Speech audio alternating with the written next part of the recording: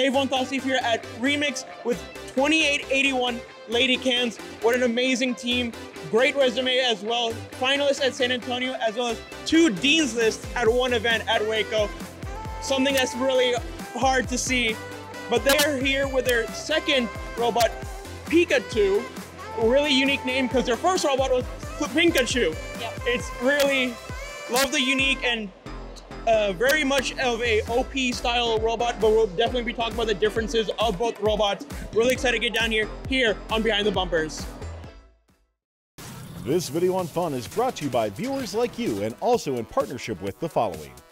Discover how Kettering University students engineer their success with Kettering's amazing co-op employment programs where students earn great pay and gain valuable experience. Those accepted into Kettering University can apply for a robotics scholarship providing up to an additional $5,000 a year in tuition assistance. Head on over to kettering.edu slash first to learn more and apply.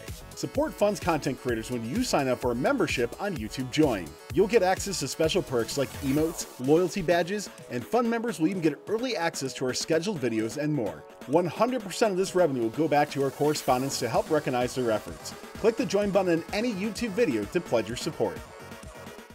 All right, Hope, talk to me about this off-season robot, and then talk to me about the differences of your original robot for the season. Yeah, so this robot's name is Pikachu. Um, we designed this robot with a couple of ideas in mind, uh, mainly improving based on our in-season robot. Um, one of the big changes we made is rather than having one lead screw, we decided to have two. Um, that really just helps us with a climb and consistency. So we have one subsystem on this robot. It can do everything from intaking, scoring in the speaker, the amp, and climbing. Um, we have an under the bumper intake. Uh, from there, we have a couple of sensors inside the shooter that tells us where the note is and when we have it. Um, after that, we can score in either the amp or the speaker. Um,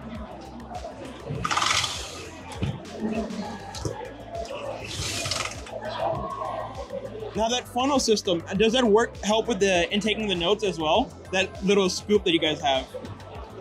Uh, yes, it provides a little bit of a ramp from our frame rail into the actual shooter.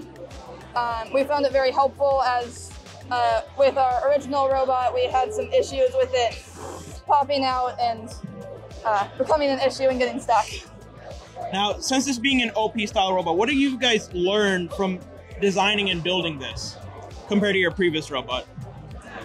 I mean, we've learned quite a bit. Uh, we experimented with a couple of new things, but nothing too big. Uh, we knew we wouldn't have too much time to reprogram everything and redesign everything.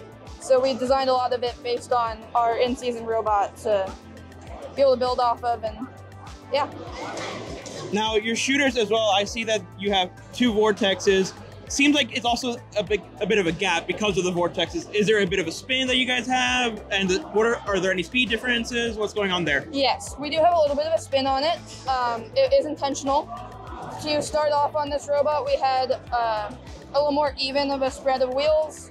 Um, but as we took apart our previous robot, we decided to add more on here and gave it more of a spin off to the side. Um, and we've had to account for that in alignment, but it's really been a help. And one thing that just came to my mind because you mentioned lead screws earlier, I remember your last year's robot was really based off of lead screws. Yes. How you're learning from that season to this to this robot has that been any benefit to you guys? I assume it has. I mean, yeah, it's made programming and designing much easier because we have the experience with them. Um, but we've really enjoyed using lead screws and they've become a great help. And Well, I'm, I would not be surprised to see lead screws in next year's robot if that comes Yeah. comes up. hopefully, Now, Erica, I see a bunch of cameras going on. I assume vision, LEDs. Talk to me about about that. Um, so yes, we have a total of five cameras on this robot. Four of them are for um, vision, and then we have one note detection camera here on the front. Um, the four cameras are pointing all around the robot, so we can see a tag wherever we are facing. Um, this is mainly helpful for auto, so that the robot knows where it is and can pick up the notes, especially even after it may get hit. Um, and then on our driver station back over here, we have feedback. Um, so we have um, this is the note detection camera, and then this is just a fisheye camera on our driver station so we can see if there are any notes up against the driver wall. Um, and then here's a map of the field. When it can see an April tag, it will find, figure out where it is on the field and will show up. And then in here, we have a note currently, and the robot knows that, and it's showing the position as well as flashing green to say we have it. And then up here is if there was a note on the floor in front, it will show exactly where it is and track it here. And then this is the um, launcher angle. Currently, it's set to almost zero. Now, you mentioned five cameras, which is insane. What computer do you guys use to talk with the robot? Um, so this entire thing is a custom-built web-based application. You can find it on our GitHub. Uh, basically, it brings in all of the information and puts it into a readable, uh, more readable uh, interface for us as yeah, and Orange Pi. um, we have our lovely electronics panel. Um, it is much improved from the seasons version, um, and it also looks very nice, so we can easily access it. Um, yeah. Well, Lady Cans, I mean, you guys every year always come with improvements. I specifically remember last year's lead was a bit slow, but later down the season it got a bit faster. Yeah. Just love to see the improvements you guys make. Using lead screws again, going back to what you guys are used to.